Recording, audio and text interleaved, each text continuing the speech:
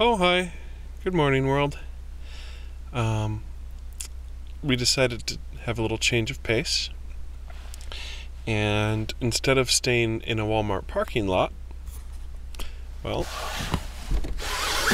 we stayed here in the Adirondacks. Beautiful.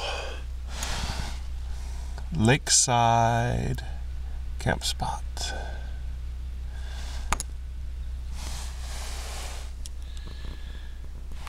And uh, here's the other view.